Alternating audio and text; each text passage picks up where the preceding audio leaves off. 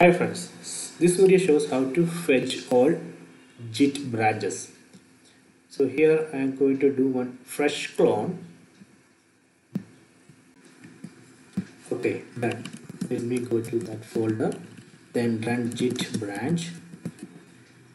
You can see the master branch here. So when you do a fresh clone, actually it create a local branch named master and that master actually point to the remote master.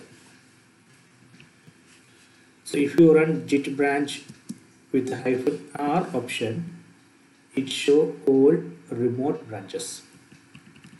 So these are the remote branches. And right now there is no local branch which point to these remote branches but there is one local branch named master and that master is pointing to this remote master branch. So if you run git branch with the hyphen a option actually it show both local and remote branches. You can see local branch here and all the remote branches. You can confirm it. Just uh, create a new branch bm b1 then run git branch.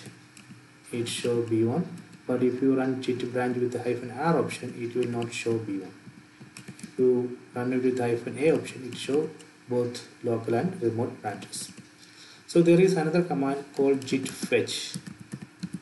So what it will do is so we already seen that uh, we run this command, we execute this command to clone the repository, git clone. So when you run git clone, in that time it actually fetch all the branches from the remote repository. So after, suppose after that somebody created a new branch, somebody created a new remote branch so how do you get that new branch in your system? So that is the use of git fetch command.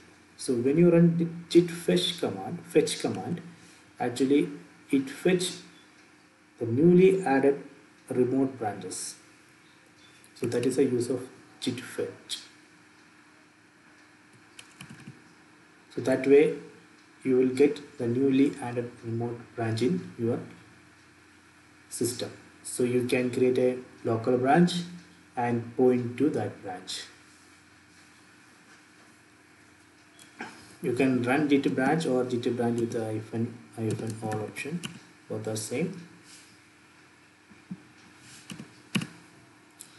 So i hope you enjoyed this video. Please subscribe my channel. Please like and share the video